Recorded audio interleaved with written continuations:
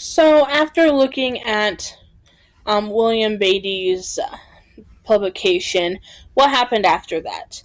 You know, it was the 1700s. Well, then you have Wilhelm Wundt and Stanley Hall, who established the first psychology labs. Wundt established his in Germany, and then Hall established his in the United States. And this was kind of important as there weren't ways to measure what we find at, find in psychology. It is still kind of a soft science where it's not like medical where you can see the results and you can draw blood and you can cut someone open and see what's wrong. Psychology is much more deeper than that. So finding ways to experiment on ethically experiment your theories was kind of rare. So these two uh, um, labs were really important. And then around the 1880s, you have Hermann Ebbinghaus, and his study was really important. What he did was he studied memory, which was kind of unheard of as um, Wundt um, published that memory could not be studied experimentally. Ebbinghaus um, decided to take that leap and study memory, and what he did was he used himself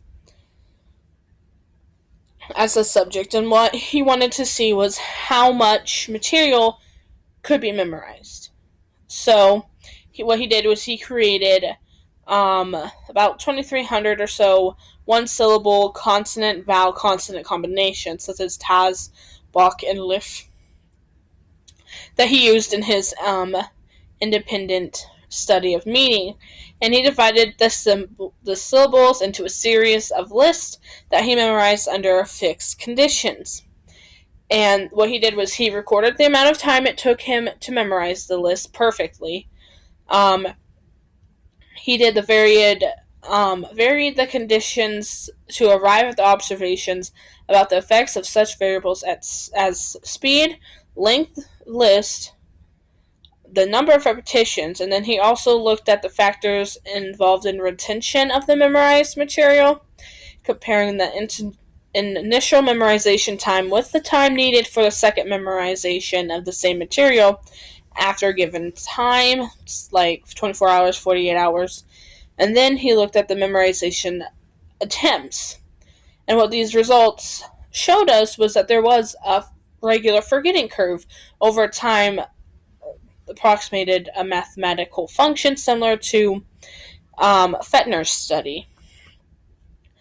And after a steep initial de- decline in learning time between the first and second memorization, the curve leveled off progressively with sub- subsequent effects or efforts. So, what that really means is when he was looking at how well he was able to memorize um, the material, there was a point where you did forget it. And he what he was doing was rote learning. So you learn and you learn and you study and you study, and so you have it, and then do you forget it between point A to point B? And then he also looked at how meaningful these um, things were that he was trying to remember. So the more meaningful it is, are you more likely to remember it? For instance, a spouse's birthday your mother's death, you know, a really good success in your life, a traumatic um, event in your life, are you more willing to memorize those because they have some form of meaning to you, whether good or bad, versus the list to the grocery store, the phone number of a stranger? You're less likely to memorize those because they don't hold meaning to you. Um, and then he also did take his work um, with the facility or the faculty of the University of Breslau. Um, he studied children in 1897, and what he found, what he developed, was a sentence completion test that is still widely used in the measurement of intelligence. And he worked on this until about 1905 and was probably the first successful test of mental ability that they found and still used today, which I think is great.